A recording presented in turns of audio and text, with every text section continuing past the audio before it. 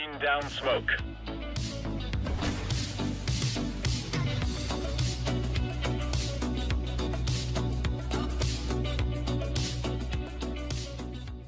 Hello everybody and welcome back to a brand new video. Now this video is going to be covering five more investments for 2020 and beyond, and the reason for this is because the market has actually changed a lot since my previous video. I was actually not planning to make another one of these top five investment videos, but because of the market changes and some of the other factors I've analyzed recently, this is probably going to be a good idea just because these are going to be a lot different than the previous videos. If you guys do want to check out those previous videos, those are still valid investments. This one is just going to make sure it doesn't rehash any of those investments. So let's go ahead and move into this video with one quick word from a sponsor sponsor. So the sponsor for this video is going to be CSGO Station. They are a Discord server and they also have a really big pro, which is the fact that they are ran by a very strong management. So a really cool thing about the server is that it's actually like a hub for all things CSGO related. There's going to be stuff for investors, for traders, for players, and for even gamblers, which is something I don't personally condone, but if you're into that, then it is available there. And also, of course, you're going to be able to do some content creation related stuff. So if you're a content creator and you want to network a little bit, there's going to be some options there for you. So I think it's a really cool little hub. It's definitely not like a generic Discord server that you normally see. This one has a lot of different features, and if you want to just kind of jump into a general CSGO hub that's going to allow you to access a lot of interesting features, then I would definitely check it out using the link in the description below. So anyway, a really cool place, and I totally recommend it. Check it out. Alright guys, let's move on to the video. So the number 5 spot for this list is going to be a little bit more in-depth variant of what I talked about in the previous video. This one's going to be for cases in general, so I'm actually going to be talking about just like literally every case, and I think every single case is going to be a good investment at some point in time.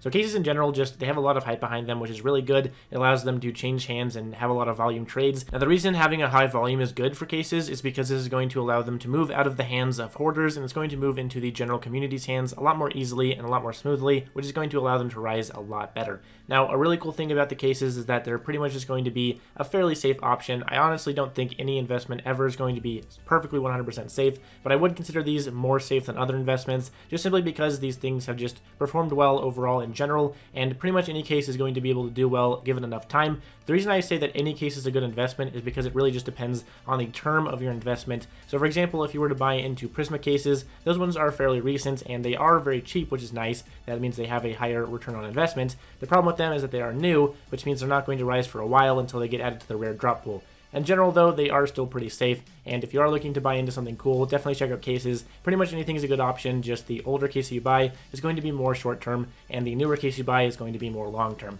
So if you keep that in mind, you're going to be able to get some good profit off these cases. Again, I think any case is solid, but I would definitely recommend as a top three the Phoenix case and the Chroma 3 case and the Shadow case, all of which I think are going to be great options. They're kind of in that nice sweet spot where they're not too expensive and also not too cheap, so they're in a good spot. Now, the number four spot for this list is going to be moving on to another generalized thing, and that's going to be Shattered Web. So Shattered Web in general is just going to be good. The main thing here is that it's really hard to kind of demonstrate to you how well these are going to do in the future, and it's kind of one of those things where it's just get onto them now and kind of throw them into a storage unit, kind of forget about them, and you're going to be able to make some good money in the future. These things are just going to be really solid. Pretty much every operation skin that's come out of a collection has done well in the past, and that's only going to continue for the future as these things get more rare with time. Obviously, Shattered Web was a pretty highly invested operation, so it's going to be a little bit longer than more people would usually expect, but I still think it's going to be a solid option, and a lot of these skins are going to go pretty crazy in the future. I especially think the stuff that I've talked about in the past, like the Gold Web foils and the Desert Eagle Emerald Jormungandr, are still going to be very good options, but they're just going to be solid in general because they're only going to get more rare by the day, and of course are only going to get more desirable as their price goes up.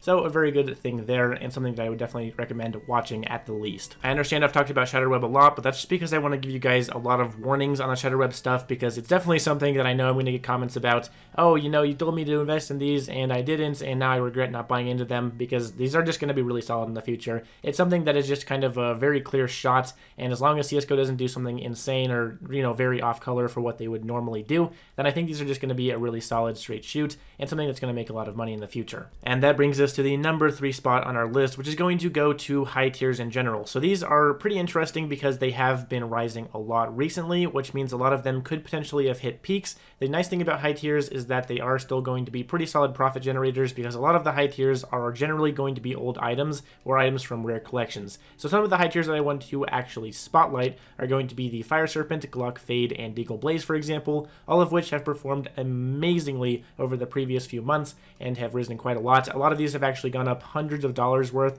and just even if you owned one skin alone out of any of these. So I think they're just really solid options and something that you could probably just buy into and wait enough time and you make money off of it. It's a really classical investment, not really anything too crazy out there. So I think it's good for people that have a lot of money. Obviously, I don't like recommending higher tier and more expensive stuff a lot because a lot of people don't have the money to buy into them and I think it's better to uh, kind of give more general, cheaper stuff that a lot of people could buy into. But I still think high tiers are really, really solid, and it's kind of hard to ignore them, especially with the recent price manipulation that has happened on them on buff specifically, which has actually uh, allotted a lot of them to retain higher prices, which I think is actually really cool. Like I say with the Op Asma, for example, these are kind of just things that you're going to buy into and make kind of slow profit over a course of time, and in general are going to make a lot of profit just as an overall. So if you own these in your inventory and you have them for a while, you can make good money on them. And I would recommend those ones that I mentioned before, the Glock Fade, the Deagle Blaze, and of course the Fire Serpent as really good options. And I also wanted to go ahead and point out another thing if anyone wants to ask about this, and that's going to be the Op Lightning Strike. So I did recommend the Op Lightning Strike a little while back, said it was going to hit about $200 in about six months. My prediction was a little bit off because Shattered Web sort of offset the markets,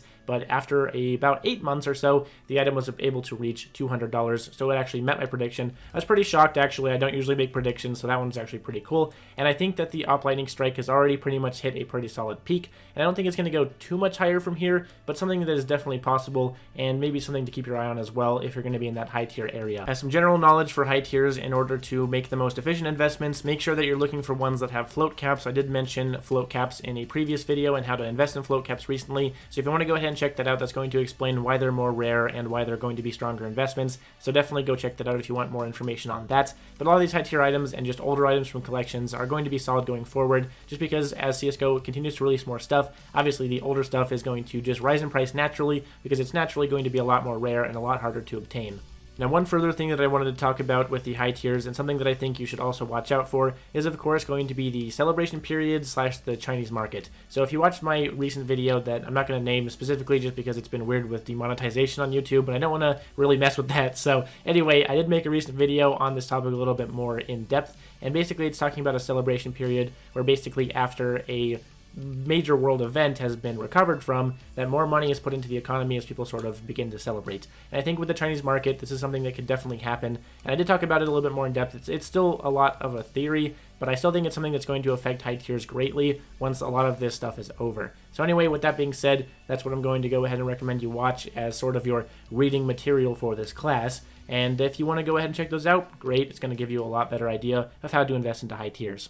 And that brings us to our number two spot. So this is going to be one that I haven't really mentioned in depth as a really solid investment. It's something I've sort of beat around the bush with with my knife investment video, but it's one that I want to hit a little bit more specifically, just as investments specifically. So this is going to be butterfly knives, karambits, Shattered Web knives, and then gem knives specifically. So all of these kind of in the same sort of area. So the main thing here is I do think that specifically, for me at least, I think that Shattered Web knives are going to see a re-release. I think it's a little odd that they didn't get a re-release already, and I think it's something we're probably probably going to see in the future. So with these knives, I would tread very carefully. It's definitely the riskier one of the bunch, but I still think these have generated a lot of profit because obviously they haven't seen a re-release and they're just an exceedingly rare knife to obtain, especially the skeleton knives. These ones have just been generating an incredible amount of money recently, especially on buff. And if you want to go ahead and buy into one of these, definitely a good option as long as you're willing to take on the risk that they could have a re-release in the future. Obviously, there is also the small chance that they don't have a re-release. It's just going to be unlikely for them not to see a re-release. So if you do want to buy into these, Skeleton Knife is going to be the best one. And just again, make sure you're going to buy and sell in a pretty short time period and you don't want to risk it too much. Now with the, butterfly knives, these are just going to be solid in general. These have just continued to do insane. They've skyrocketed and just done some really crazy stuff. I've looked at the prices of these and I've just personally been shocked at how much they've actually risen. Even the really low tier skins and the really old skins have just continued to do well and have even doubled and tripled in price, which I think is absolutely insane. These have just been total profit generators and they've been able to make a lot of people a lot of money. So if you're going to look into a butterfly knife or a knife in general, that's the one that I would definitely pinpoint. Now as for the Karambit, this one is of course just an iconic knife. With the release of the Talon knife, I actually think the Karambit gained a lot more popularity because people preferred it over the Talon knife and I think the Karambit is still a superior good to the Talon Knife, so it's something I would also make sure you watch out for. Do keep in mind that the Karambit is still available in a lot of cases, so it is a lot more obtainable than some of these other knives. Obviously, the older finishes, like the Fade finishes, are going to be better. Alright guys, moving on to the number one spot for this list, this is going to be major stickers. A little bit more specific than my previous video that talked about major stickers, because I think there is a little bit more information to be put into them right now. So one major thing with major stickers is obviously the future investment potential of Rio or whatever tournament organizer ends up doing it, because obviously there's been a lot of interesting in real life consequences that we've had to deal with, which is of course pushed back to the Rio Major. So with that, there's going to of course be the Rio Major sticker sale and the sticker releases. I do think that Rio is going to have a pretty decent sticker design. Here are some mock-ups. I don't know if they're going to be this good, but obviously they could be pretty close because of the background of the ESL 1 Rio logo. So with that said, I do think that Rio is a potential for some good profits. Obviously, check out Navi stickers. Those are going to be your safest bets. With Rio, whenever it happens, obviously just go with the safer stickers like Navi, like I just mentioned, or of course you could go with some teams that probably aren't going to see future stickers. Like for example, Dream Eaters is probably not going to see a sticker release at Major, so that's one that you could look out for. Virtus Pro, of course, has a new logo design, and some of the other teams have new logo designs, which could of course impact their pricing during the Rio Major sticker sale. So of course, look out for stuff like that, and I think it's going to be a really good one going forward. And as for other major stickers, definitely look at some of the underpriced ones, like for example from Cologne 2016, Boston 2018, and Atlanta 2017. Many of these are still underpriced. Some of them have hit peaks, some of them haven't. You're just going to have to really look into it more specifically and figure out which ones you want to invest into. I did, of course, invest into a couple of those Boston 18 Holos recently, and also a couple of the other stickers from Katowice 2019. So make sure to check that out in my previous Investment Odyssey video if you want to see those more in depth. But that's just generally the majors I would look out for because they're ones that haven't really been manipulated too much by this recent sticker manipulation that's been occurring pretty much across the entire sticker market. So make sure you're looking for the ones that are still underpriced and not ones that have been manipulated. That's ones that are going to make the most return on investment on. Now, for one really interesting one that I have not mentioned in any form before and one that I want to bring just new to the table is going to be autographs specifically. So I do want to shout out Zonix and Foxtail in my Discord server, some really, really cool people, and they've actually been watching autographs very specifically. They're really, really into autograph investing, and you can definitely trust their opinion when it comes to autograph investing. These guys have told me that the best ones are going to be Xantares, Searson, and of course Brollan. So these are all really star players that have just been performing amazingly recently. Xantares, of course, has just been doing insane on land. Brollan, of course, has just been a really star player for Fnatic and has done a lot for them. He's had some pretty insane plays, and his sticker's been doing really solid as well recently.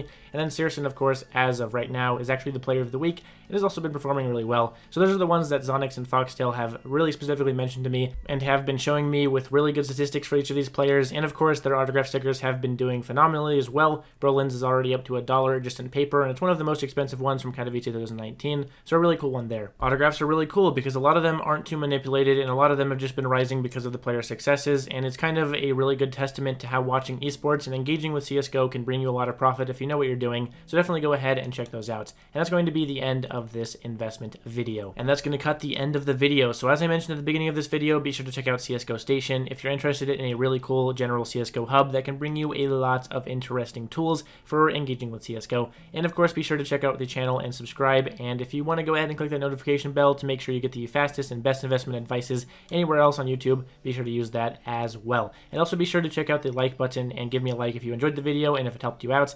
And of course, be sure to check out some of my affiliate links if you want to support the channel more directly. And of course, the Discord and the Reddit links, which are also going to help me quite a lot by growing my beautiful community. So anyway, guys, thank you so much for checking out this video. I really thank you for taking time out of your day to come check it out with me. And I will see you all next time. Peace.